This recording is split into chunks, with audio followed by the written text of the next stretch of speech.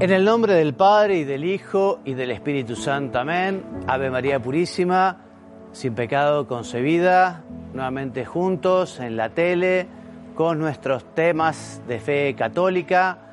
Hoy ya con nuestro tema número 12 vamos a hablar de la encarnación del Verbo, ¿eh? cómo Jesús tomó carne en las entrañas purísimas de la Santísima Virgen María. Pero antes veremos cuál es la identidad de Jesús en el Nuevo Testamento, en los concilios. Después veremos cómo Jesús tuvo una inteligencia humana, ¿eh? una voluntad humana. Y terminaremos viendo cómo la Virgen es Madre de Dios y Madre de la Iglesia. ¿Qué es la cristología? Como se imaginarán, la cristología es la parte de la teología que estudia eh, la vida de Jesús, la vida del Señor y su mensaje. Y la fuente principal de la Mariología es, en primer lugar, los Evangelios, pero también todo el Nuevo Testamento, en las cartas de San Pablo, las cartas de San Juan, los demás textos, ¿no? Ellos, como veíamos también en su momento, lo que hacen es recoger el mensaje esencial del Señor. ¿Se acuerdan que decíamos que los evangelistas, por ejemplo, no le dan tanta importancia a la cuestión cronológica, por ejemplo, o de los lugares, sino que fundamentalmente lo que quieren es transmitir el núcleo del mensaje del Señor, que como dirá San Juan, si se hubieran escrito todas las cosas que enseñó Jesús, no alcanzarían los libros ¿no? para contenerlos.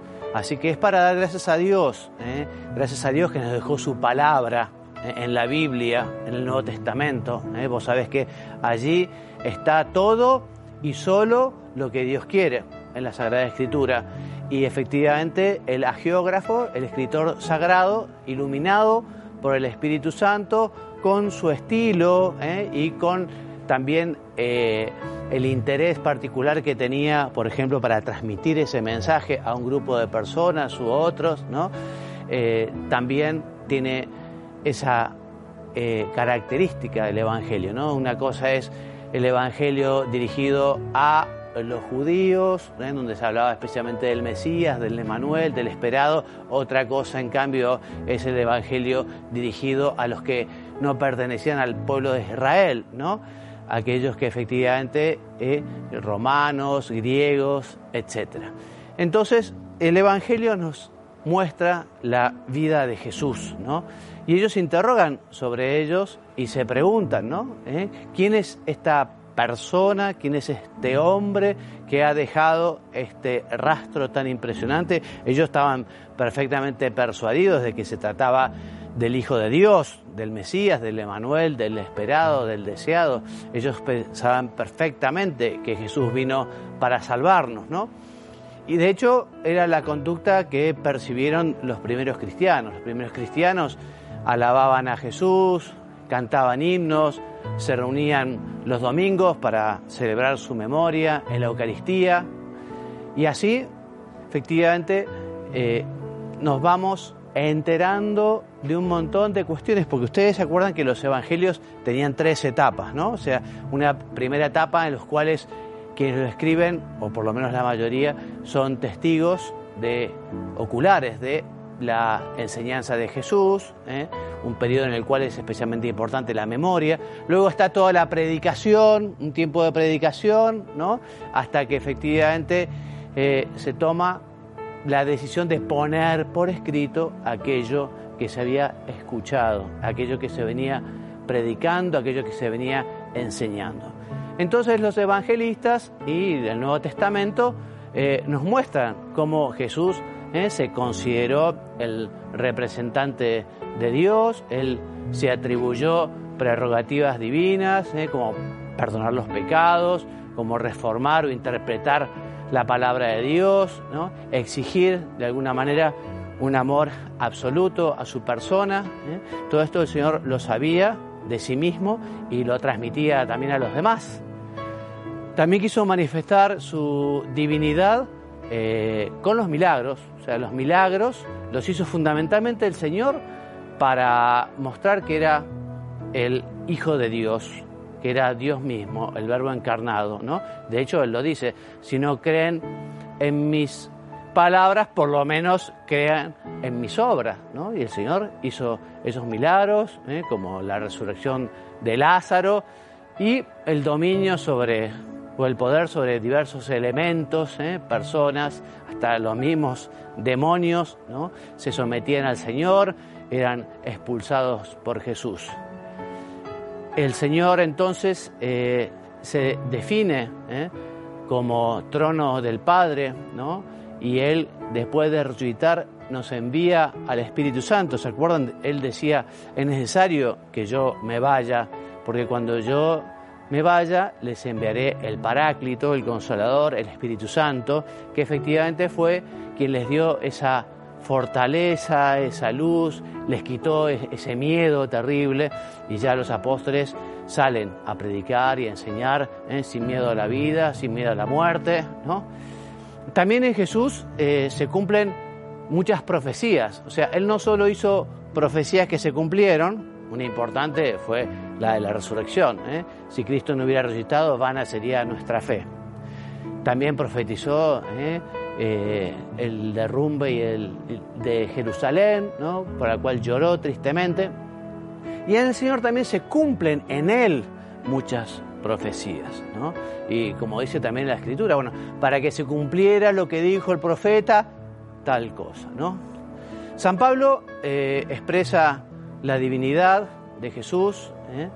también eh, San Juan diferencia, ¿no? distingue lo que es el Padre, el Padre, de la palabra del Padre, de la palabra del Padre. O sea que como efectivamente esa palabra estaba en Dios desde siempre, ¿no? y era eh, Dios misma esa palabra, pero distinguía el Padre de la palabra, porque ya veremos cómo efectivamente es en el Nuevo Testamento cuando se revela de un modo cabal, de un modo más claro, la Trinidad. O sea, en el Antiguo Testamento queda claro que Dios es creador, es todopoderoso, ¿no? Pero quedará muy claro con la venida de Jesucristo que Dios es Padre y que Dios es uno en tres personas, ¿eh? Padre, Hijo y Espíritu Santo. Bueno, hemos visto un poquito la identidad de Jesús, cómo se percibía él, que se percibió siempre el Hijo de Dios, era consciente de su misión, se sabía enviado por el Padre para redimir a los hombres.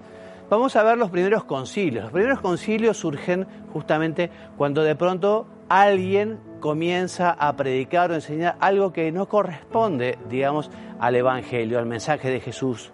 Entonces cuando el obispo local de alguna manera aquello le supera, se reúne con los otros obispos para deliberar, para estudiar y para ver ¿no? si esa predicación era acorde al mensaje del Señor o no. Bueno, uno de los primeros herejes fue Arrio. Fue Arrio. Arrio vendrá a decir que Jesús fue menor que el Padre, ¿eh? por eso fue capaz de encarnarse, pero quedará claro con el concilio de Nicea, uno, el primero del año 325, que define, define eh, que Jesucristo es igual al Padre. Y aquí surge el credo, ¿se acuerda de ese credo que rezamos? El credo niceno-constantinopolitano, ¿eh? surge para enunciar las verdades fundamentales de nuestra fe. Y allí se afirma que Jesucristo es Dios de Dios, luz de luz, Dios verdadero, de Dios verdadero, engendrado, no creado, de la misma naturaleza que el Padre, ¿eh? por quien todo fue hecho, etcétera, etcétera, etcétera. Entonces, el Padre y el Hijo comparten la misma y la única divinidad y por lo tanto tienen la misma dignidad. Padre, Hijo y Espíritu Santo. Nestorio, tiempo después, ¿eh? patriarca de Constantinopla, él reconocerá a Jesús como una persona, un hombre que nació en Palestina, que murió en la cruz, etcétera, etcétera. Pero ese Jesús no podía ser Dios, porque decía Nestorio que la palabra eterna es inmutable y no puede nacer como un ser humano. Él mismo dirá también que, por lo tanto, la Virgen eh, no sería la madre de Dios, ¿eh? la Virgen sería la madre de Jesús, la madre del hombre. el concilio de Éfeso, año 431, ¿eh? sostuvo que la segunda persona de la Santísima Trinidad, la palabra de Dios, se había hecho carne, es decir, había hecho suya su naturaleza humana. El verbo asumió la naturaleza humana. Por lo tanto, Jesús es verdadero Dios de la misma naturaleza que el Padre, pero también es verdadero hombre, verdadero Dios y verdadero hombre en la persona de el verbo que ya lo veremos ahora. Entonces Jesús es un único ser, un único ser. Y no son dos realidades distintas como sostenía Nestorio. ¿no? El pueblo además se alegró y salió a la calle cuando el concilio dice que la Virgen es verdaderamente Madre de Dios, ¿no? Como, como la Virgen es Madre de Cristo, Madre de Jesús, y Jesús es Dios, por lo tanto la Virgen es Madre de Dios. No es que le haya dado la divinidad, ni mucho menos. Es como también se puede llegar a decir, la madre de una persona que fue elegida para presidente, ¿no?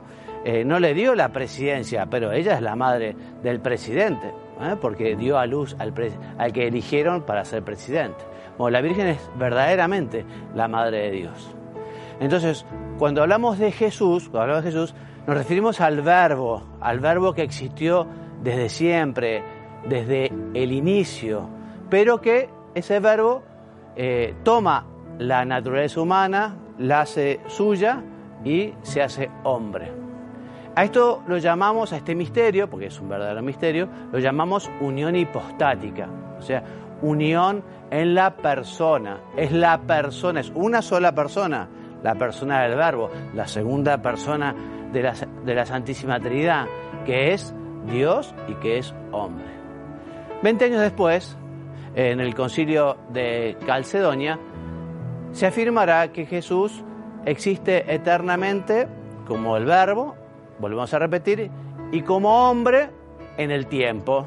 Y por lo tanto, verdadero Dios y verdadero hombre, perfecto Dios y perfecto hombre. ¿no? Y luego los concilios posteriores vendrán a profundizar en estos temas. ¿no? Entonces, luego se dirá que efectivamente Jesús, si es hombre verdadero, tendrá una inteligencia humana, una razón humana, un pensamiento humano, además del pensamiento divino. ¿no? Y también tendrá una voluntad humana. ¿no? Pero antes de profundizar en estos temas, vamos a ir ahora a un corte, vamos a un corte, vamos a ver el video del Papa, un video del Papa sobre los educadores. Quiero proponer a los educadores que añadan un nuevo contenido a la enseñanza la fraternidad.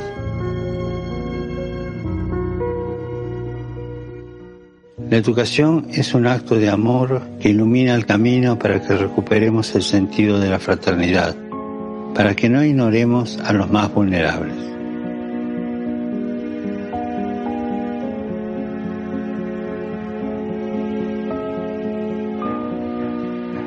Si el educador es un testigo que no entrega sus conocimientos mentales, sino sus convicciones, su compromiso con la vida. Uno que sabe manejar bien los tres lenguajes, el de la cabeza, el del corazón y de las manos armonizado. Y de ahí la alegría de comunicar. Y ellos serán escuchados mucho más atentamente y serán creadores de comunidad. ¿Por qué? Porque están sembrando este testimonio. Oremos para que los educadores sean testigos creíbles, enseñando la fraternidad en lugar de la confrontación y ayudando especialmente a los jóvenes más vulnerables.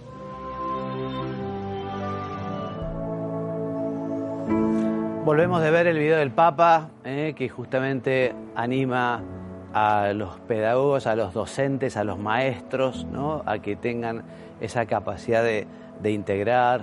Eh, ayudar a los más necesitados, esa fraternidad que es tan importante.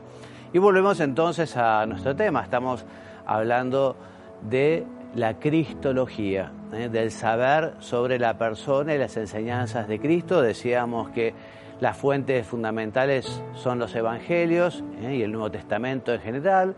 Decíamos que Jesús mismo tiene una perfecta eh, percepción de cuál era su rol, ¿no? Y que era el enviado, que era el Hijo de Dios, que tenía que salvarnos.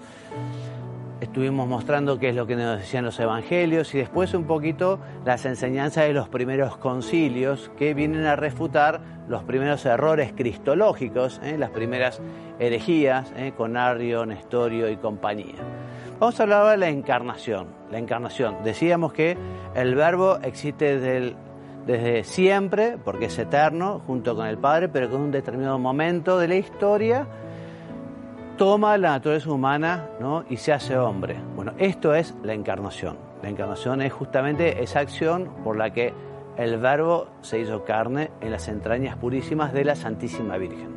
Bueno, esta es una obra de Dios Trino, Recuerda en su momento que hablamos de que toda obra de la Santísima Trinidad, eh, toda obra adextra, ¿no? es, pertenece a las tres divinas personas, ¿no?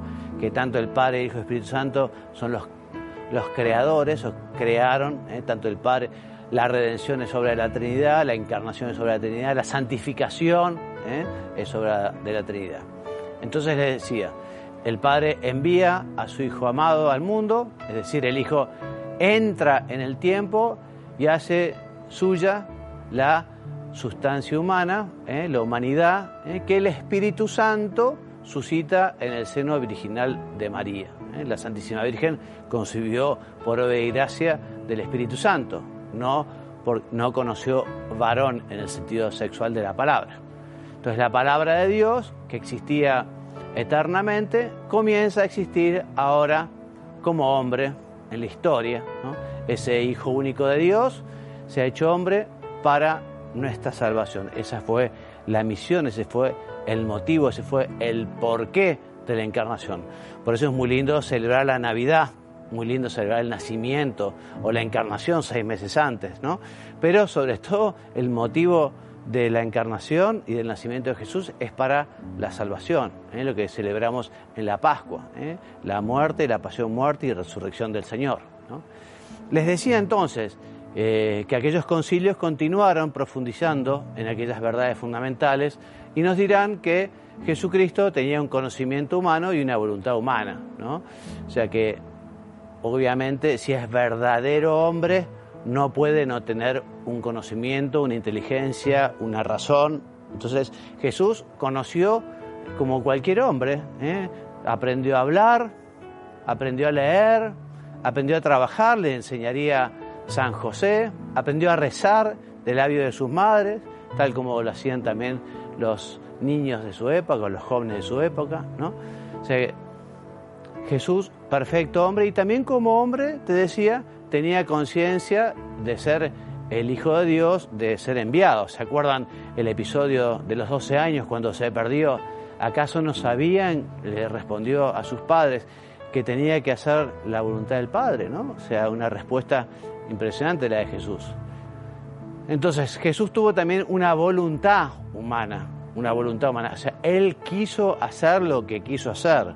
¿eh? No es que me quiten la vida, soy yo el que la doy libremente. ¿eh? Jesús es el que quiere hacer las cosas y es el que quiere hacer la voluntad del Padre.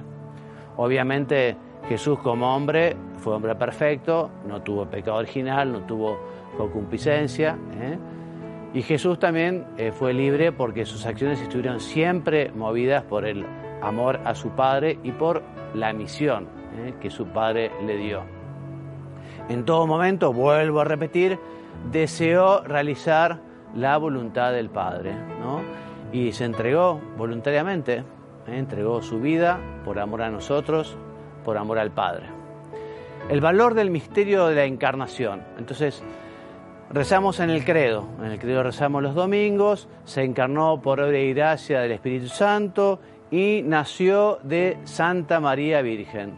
O sea que Jesús es hombre, es uno de nosotros, pertenece a nuestra raza, tiene un corazón y un alma humana.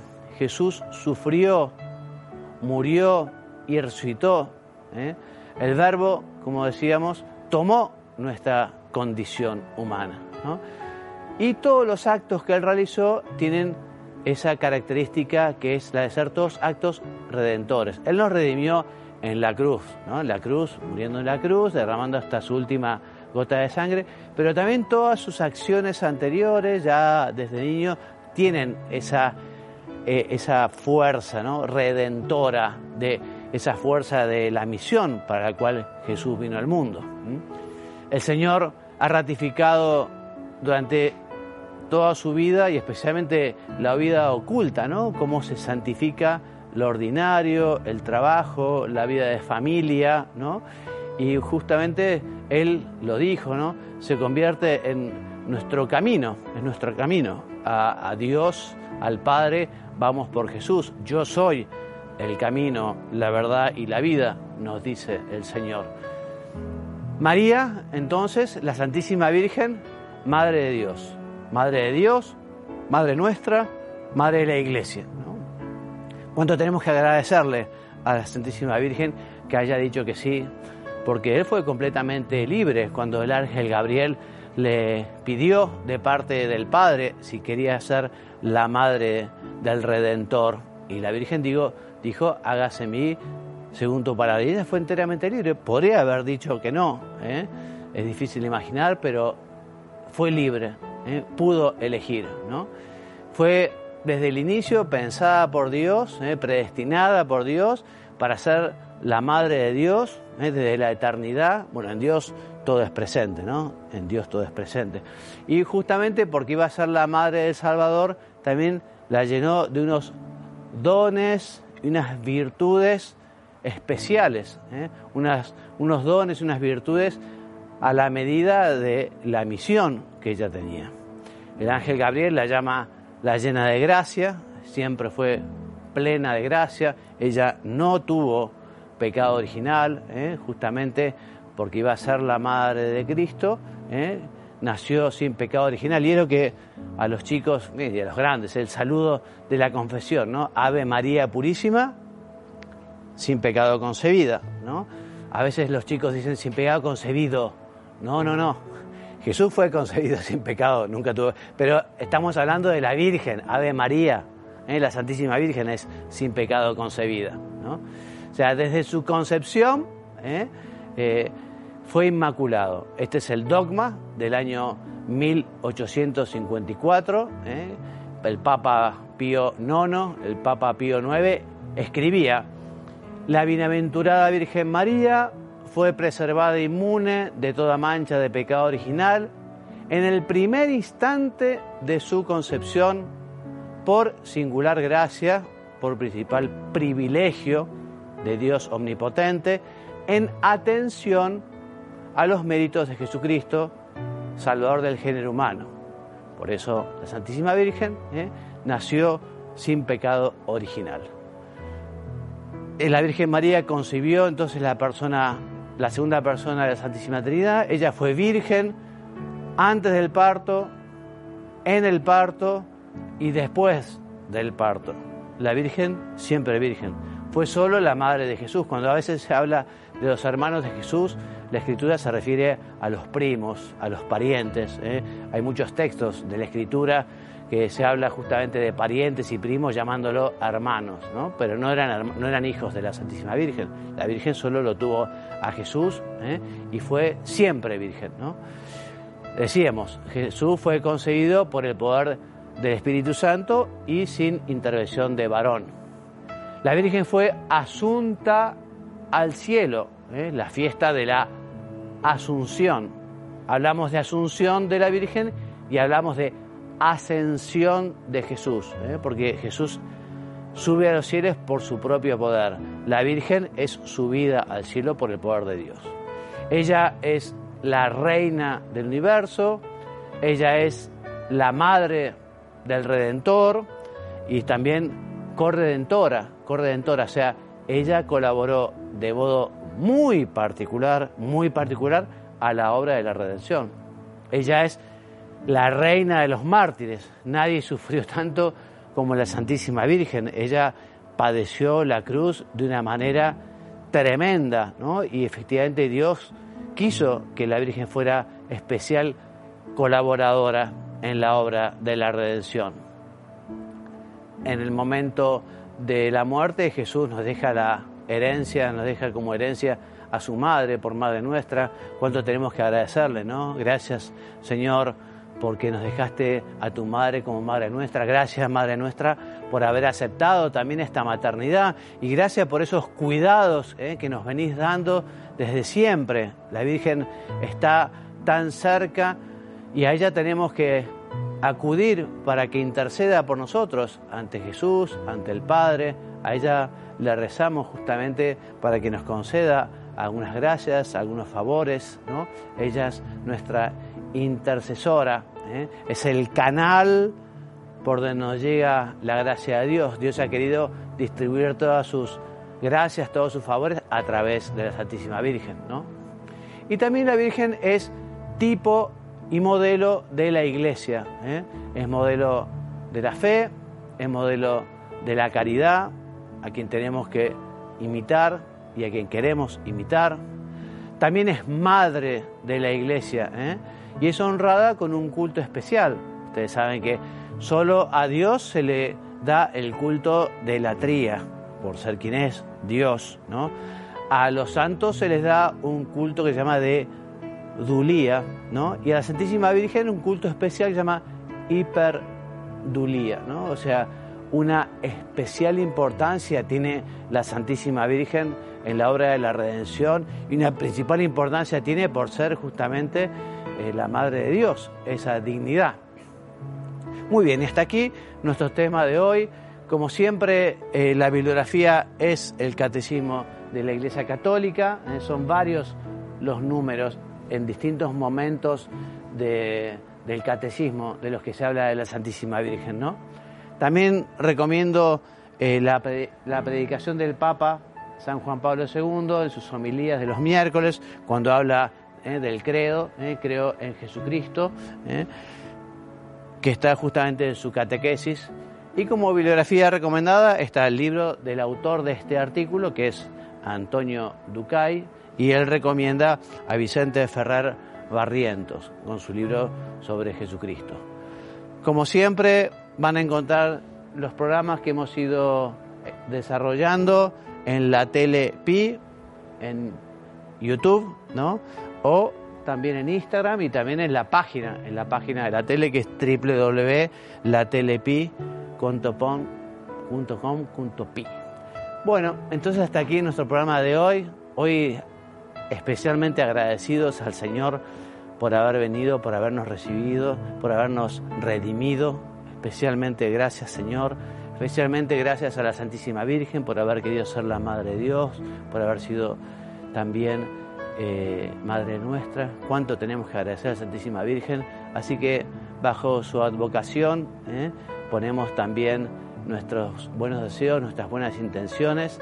Y me despido enviándoles la bendición, que Dios los bendiga los haga muy santos. Amén.